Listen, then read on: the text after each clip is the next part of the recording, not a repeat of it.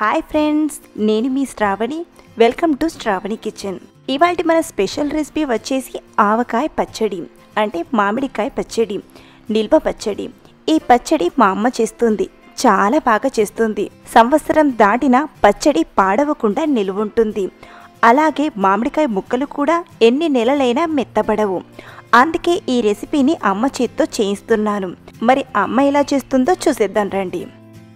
ముందుగా ఈ పచ్చడి కోసం పుల్లటి మామిడికాయలను ఎంచుకోవాలి. అప్పుడే మీకు పచ్చడి మా అమ్మ చేసినంత టేస్టీగా కుదురుతుంది. పెద్ద సైజ్ మామిడికాయలు కాకుండా ఇలా మీడియం సైజ్ ఉండేట్లు మామిడికాయలను తీసుకుంటే టెంకు అన్ని ముక్కలకు బాగా వస్తుంది. ఇక్కడ మూడు కేజీల మామిడికాయలతో పచ్చడి చేస్తున్నాం. లెక్కతో చూసుకుంటే ఇరవై ఏడు కాయల వరకు వచ్చాయి. మామిడికాయ అన్నిటినీ శుభ్రంగా కడిగి ఇలా ముక్కలుగా కొట్టించండి.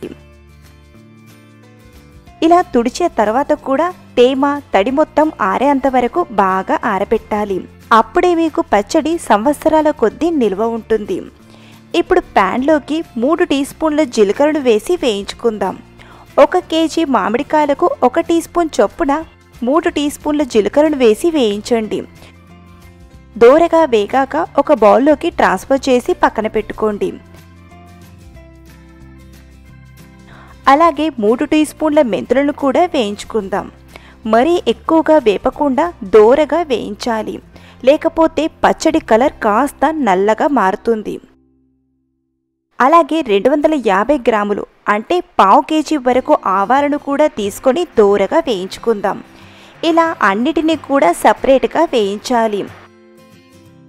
ఇవి కూడా వేగాక వేరొక గిన్నెలోకి తీసుకోండి. అలాగే పావు కేజీ నువ్వులను కూడా తీసుకొని వేయించుకుందాం. నువ్వులు వేయడం వలన ఆవకాయ పచ్చడి టేస్టీగా చాలా చాలా బాగుంటుంది.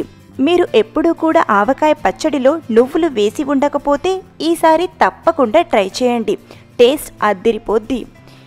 ఇవి కూడా దోరగా వేగాక గ్యాస్ ఆఫ్ చేయండి. ఇవన్నీ చల్లారిన తర్వాత మెత్తని పొడిలా గ్రైండ్ చేసి రెడీగా పెట్టుకోండి. ఇప్పుడు మామిడికాయ ముక్కలు తడి మొత్తం ఆరిపోయాక ఇలాంటి పెద్ద గిన్నెలోకి తీసుకోండి. ఇందులో ఐదు వందల గ్రాముల కారాన్ని యాడ్ చేసుకుందాం. పచ్చడిలో కొత్త కారం యూజ్ చేస్తే టేస్ట్ చాలా బాగుంటుంది. తొమ్మిది వందల గ్రాముల ఉప్పుని అంటే కేజీకి కొంచెం తక్కువ ఉప్పుని యాడ్ చేయండి. ఇప్పుడు మనం వేయించి పొడి చేసిన ఆవల పొడిని యాడ్ చేసుకుందాం.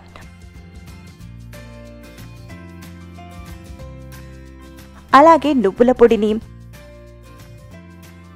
జీలకర్ర మెంతుల పొడిని కూడా వేయండి. పొట్టు తీసిన వెల్లుల్లి పాయల్ని కూడా యాడ్ చేసుకుందాం. బాగా మిక్స్ చేయండి. మామిడికాయలు పులుపు తక్కువగా ఉంటే కారమైన ఉప్పైన కాస్త తక్కువగానే పడుతుంది. కాబట్టి పచ్చడి కోసం పుల్లటి మామిడికాయలు ఎంచుకోండి. టేస్ట్ చాలా బాగుంటుంది. అలాగే ఉప్పు కారం కరెక్ట్గా సరిపోతుంది.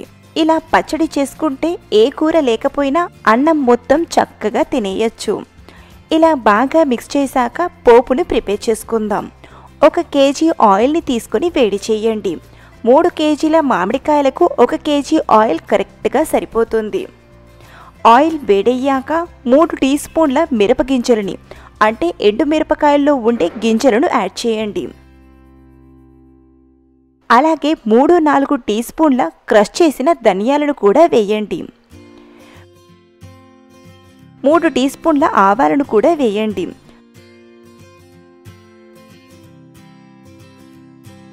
రెండు టీ స్పూన్ల నువ్వులను వేసి ఫ్రై చేయండి. ఇలా మనం పోపులో మిరపగింజల్ని నువ్వులను వేయడం వలన పచ్చడి సూపర్ టేస్టీగా వస్తుంది. ఇవన్నీ కూడా దోరగా వేగాక అర టీ స్పూన్ మెంతులను వేసి ఫ్రై చేయండి.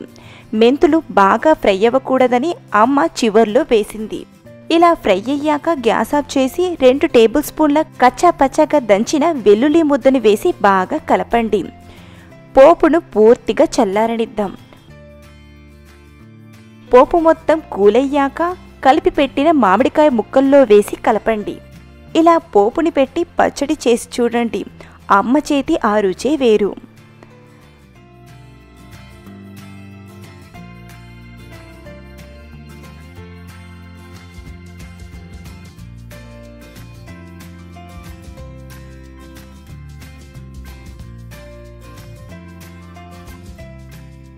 బాగా కలిపాక జాడీలోకి కానీ లేదా గాజు సీసాలోకి కానీ తీసుకొని స్టోర్ చేసుకుందాం.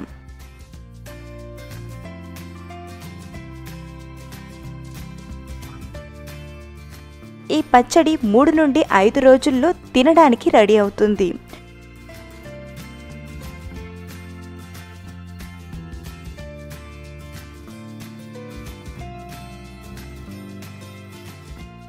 మూడు రోజుల తర్వాత పచ్చడిని తీసి ఒకసారి బాగా మిక్స్ చేయండి.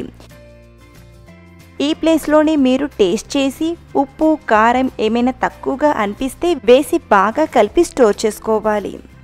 అంతే ఎంతో రుచికరమైన ఆవకాయ పచ్చడి రెడీ ఈ కొలతలతో పచ్చడి చేస్తే సంవత్సరమైన పాడవకుండా టేస్టీగా వస్తుంది. మీరు పచ్చడిని జాడి నుండి ఎప్పుడు తీసినా తడి అనేది తగలకుండా జాగ్రత్తగా తీసుకోవాలి. తడి తగిలితే పచ్చడి తొందరగా పాడవుతుంది. సో ఫ్రెండ్స్ అమ్మ చేసిన ఈ పచ్చడి మీ అందరికీ నచ్చుతుందనుకుంటున్నాను. మీకు నచ్చితే తప్పకుండా ట్రై చేయండి. అలాగే మీ ఫ్రెండ్స్తో షేర్ చేసుకోండి.